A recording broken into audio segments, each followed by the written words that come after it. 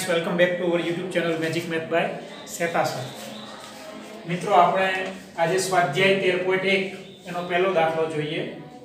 બે ઘન પૈકી પ્રત્યેકનું ઘનફળ ચોસઠ સેમી ઘન હોય તેવા બે ઘનને જોડવાથી બનતા લંબઘનનું પૃષ્ઠફળ શોધો. શું આપ્યું છે આપણને? પ્રત્યેક ઘનનું ઘનફળ ચોસઠ સેમી ઘન ઘનફળ આપ્યું છે ઘનનું આવા બે ઘન છે એ ઘનને જોડવાના છે. તો જોડવાથી શું બને છે? લંબઘન. ઘનનું ઘનફળ આપ્યું એટલે કે સમઘનનું ઘનફળ. સમઘન આકાર તમે જોયો છે રમવાનો પાસો. બે પાસાને તમે બાજુ બાજુમાં ગોઠવી દો. તો એની લંબાઈ છે એ કેવી થશે? ડબલ. બરાબર લંબાઈ કેટલી થઈ જશે? ડબલ. પણ બે પાસાને બાજુ બાજુમાં ગોઠવવાથી એની પહોળાઈ કે ઊંચાઈ એમાં કોઈ ફેરફાર થશે નહીં. બરાબર? ફક્ત શેમાં ફેરફાર થશે? લંબાઈ. લંબાઈ છે ડબલ થશે. તો આપણને જે માહિતી આપી છે એનો આપણે ઉપયોગ કરીએ.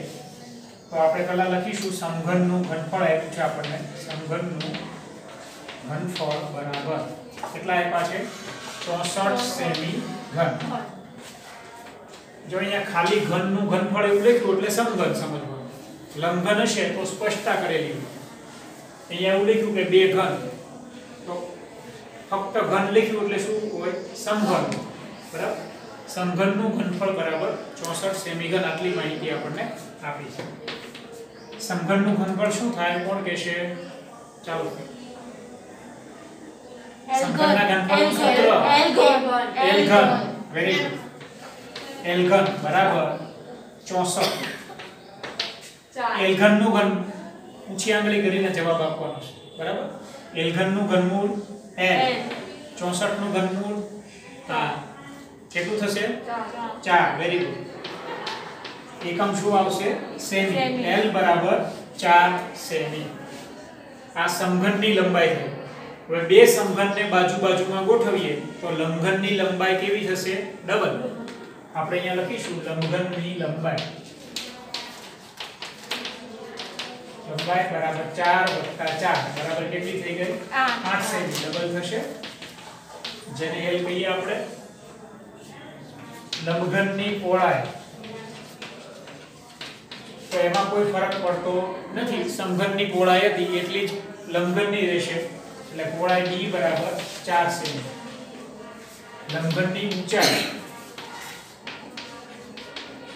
બરાબર h બરાબર એમાં પણ કઈ ફરક પડતો નથી બે ઘરને બાજુ બાજુમાં ગોઠવવાથી. એટલે ઊંચાઈ પણ ચારની ચાર રહેશે.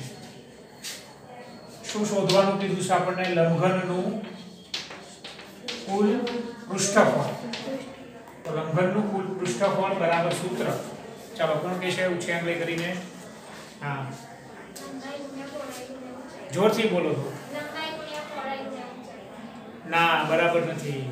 ટુ કૌંસમાં LB BH HL બે કાઉન્સમાં LB BH HL થોડું આવું જોરથી બોલો એટલે રેકોર્ડિંગમાં બરાબર બોલો. બે કાઉન્સમાં LB BH HL બરાબર? બે L ની કિંમત કેટલી છે? 8 છે. કિંમત મૂકીએ તો 8 ગુણ્યા B ની કિંમત 4 વત્તાના વત્તા b ની 4 ગુણ્યા h ની 4 વત્તા h ની 4 ગુણ્યા l ની કેટલી છે? 8 તો બરાબર 2 ગુણાકાર 8 ચોક 32 વત્તા 4 ચોક સોળ. વત્તા 4 અઠ્ઠા 32 સરવાળો કરીએ તો 32 ને 32 64 64 વત્તા 16 કેટલા થશે? 80 8 દુ 16 અને 0 0 160 શું શોધ્યું આપણે? પૃષ્ઠફળ. પૃષ્ઠફળનો એકમ શું આવશે? વર્ગ વાળો અહીંયા માપ સેમીમાં છે એટલે સેમીનો વર્ગ. પૃષ્ઠફળ કે ક્ષેત્રફળ હોય એમાં એકમ શું આવશે? વર્ગ. ઉપર. અને ઘનફળ હોય તો એમાં ઉપર ઘન આવશે. ફક્ત લંબાઈ હોય ફક્ત પહોળાઈ કે ફક્ત ઊંચાઈ તો એમાં એક એક ઘાત ઉપર બીજી લખવાની નથી. સેમી કે મીટર કે જે માપ હોય તે. એટલે ઉપર એક જ ઘાત થાય. બરાબર? તો ઘનફળમાં એકમમાં ઉપર શું આવે? ઘન. પૃષ્ઠફળ કે ક્ષેત્રફળમાં ઉપર વર્ગ આવે સ્ક્વેર આવે. બાકી આમને પ્લેન તો લંબનનું કુલ પૃષ્ઠફળ આપણને મળ્યું 160 સેમી સ્ક્વેર સ્ક્રીનશોટ લઈ લેજો.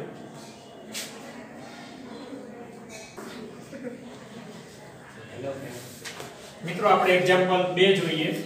એક અર્ધગોલક ઉપર એક પોલો નળાકાર બેસાડેલો. હોય તેવું એક પાત્ર છે. એટલે કે એક વાસણ છે જેમાં અર્ધગોલકની ઉપર એક પોલો નળાકાર બેસાડેલો છે. અર્ધગોલકનો વ્યાસ આપ્યો છે આપણને 14 છે.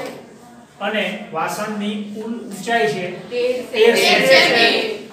વાસણની અંદરની સપાટીનું પૃષ્ઠફળ શોધો. તમારે બોલવાનું નથી. પ્રશ્ન પૂછું ત્યારે જ બોલવાનું છે.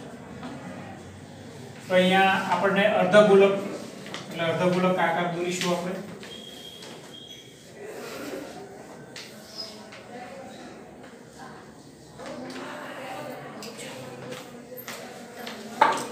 અર્ધગોલકની ત્રિજ્યા. એના ઉપર નળાકાર પાત્ર બેસાડેલું છે.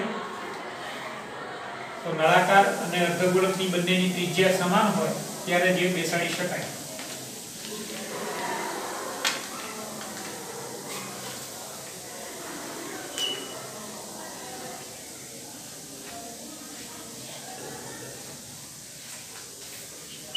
ત્રિજ્યા આ થશે, આ બંનેને આપણે જોડી દઈએ તો આ નળાકારની ઊંચાઈ h થઈ અહીંથી અહીંયા જોડી દઈએ તો આ નીચેનો ભાગ છે ત્રિજ્યા થઈ એટલે કુલ ઊંચાઈ h r જેટલી થશે. કુલ ઊંચાઈ આપણને આપી છે 13 સેમી. એટલે કુલ ઊંચાઈ છે વાસણની 13 સેમી છે ત્રિજ્યા. વ્યાસ 14 સેમી છે તો ત્રિજ્યા કેટલી થશે? 7 સેમી. વ્યાસ કરતા અડધું. r બરાબર કેટલા છે? 7 સેમી. તો કુલ ઊંચાઈમાંથી હું ત્રિજ્યા બાદ કરી દઉં તો આપણને નળાકારની ઊંચાઈ h મળશે. આપણને જે માહિતી આપી એની પહેલા યાદી કરવાની. બરાબર? આપણને આપ્યું છે અર્ધગોલકનો વ્યાસ. અર્ધગોલકનો વ્યાસ બરાબર 14 સેમી. તેથી અર્ધગોલકની ત્રિજ્યા. બરાબર નળાકારની ત્રિજ્યા. બંને એકબીજા સાથે જોઈન્ટ છે એટલે બંનેની ત્રિજ્યા કેવી છે? સમાન. બરાબર નળાકારની ત્રિજ્યા. બરાબર આ કેટલી છે? 7 સેમી. વ્યાસ 14 છે એટલે ત્રિજ્યા એની અડધી 7 સેમી થશે.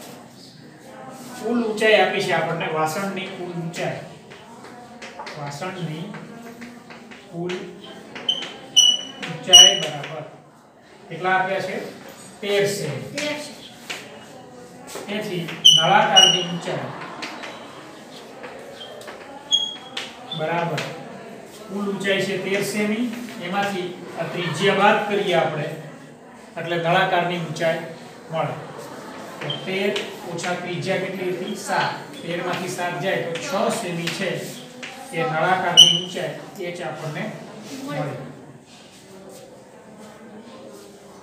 હવે આપણે શોધવાનું શું કીધું છે? વાસણની અંદરની સપાટીનું પૃષ્ઠ. તો અંદરની સપાટીનું શોધો કે બહારની સપાટીનું અહીંયા બંને સરખું થશે. બરાબર? તો આપણે વાસણની અંદરની સપાટીનું પૃષ્ઠફળ શોધવું હોય. અર્ધગોલકની વક્ર સપાટીનું ક્ષેત્રફળ. વત્તા નળાકારની વક્ર સપાટીનું ક્ષેત્રફળ જોડે લેવું પડે. એટલે આપણે વાસણની અંદરની સપાટીનું પૃષ્ઠફળ બરાબર શું થશે? અર્ધગોલકની વક્ર સપાટીનું ક્ષેત્રફળ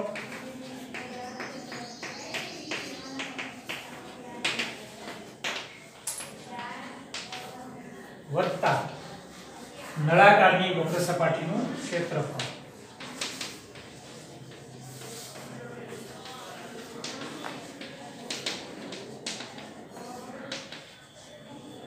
અર્ધગોલકની વક્ર સપાટીના ક્ષેત્રફળનું સૂત્ર, ચાલો કોણ કહેશે? હા.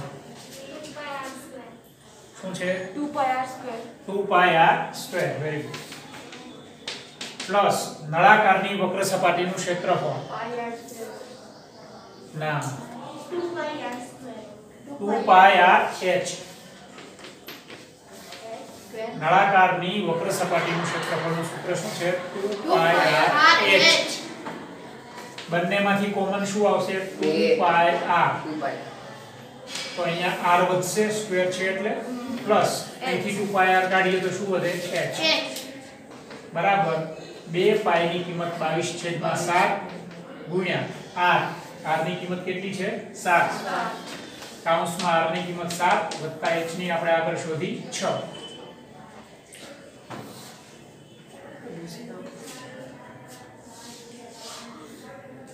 સાત સાત ઉડી ગયા. બાવીસ દુ. ચુમ્માલીસ. સાત ને છ તેર. ચુમ્માલીસ ગુણ્યા તેર. ગુણાકાર કરો. આટલા સેમી વર્ગ. એ શું આવશે? પૃષ્ઠફળ. પૃષ્ઠફળ છે એટલે એકમમાં માથે શું આવશે? વર્ગ. ગુણાકાર કેટલો આવશે? પાંચસો ને બોતેર. પાંચસો બોતેર સેમી સ્ક્વેર એ વાસણનું કુલ પૃષ્ઠફળ થયું. સ્ક્રીનશોટ લો.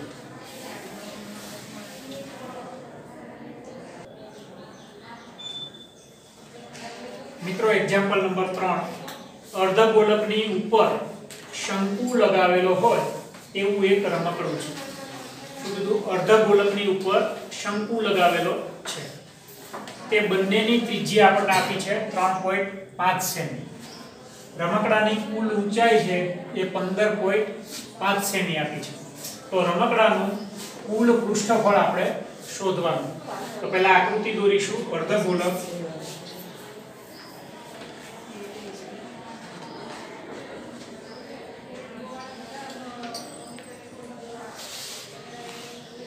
અર્ધગોળક ઉપર શંકુ લગાડેલો છે.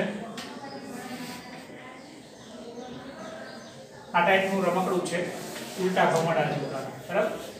હવે અહીંથી અહીંયા આપણે જોડી દઈએ આ, તો આ શું થશે? શંકુની ઊંચાઈ h. આ ભાગને જોડીએ તો આ થશે ત્રિજ્યા r. એટલે કુલ ઊંચાઈ h વત્તા r જેટલી થઈ. કુલ ઊંચાઈ આપણને આપી છે. કેટલી આપી છે? 15.5 સેમી. રમકડાની કુલ ઊંચાઈ છે 15.5 સેમી. ત્રિજ્યા ત્રિજ્યા r બરાબર કેટલા આપ્યા છે? 3.5 સેમી. તો શંકુની ઊંચાઈ h શોધવી હોય તો કુલ ઊંચાઈમાંથી ત્રિજ્યા બાદ કરવી પડશે. જે માહિતી આપી છે તો લખીએ શંકુની ત્રિજ્યા બરાબર અર્ધગોળકની ત્રિજ્યા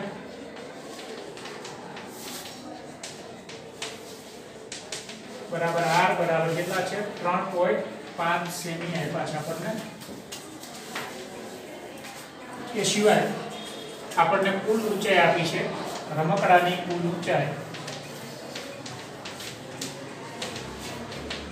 બરાબર 15.5 સેમી.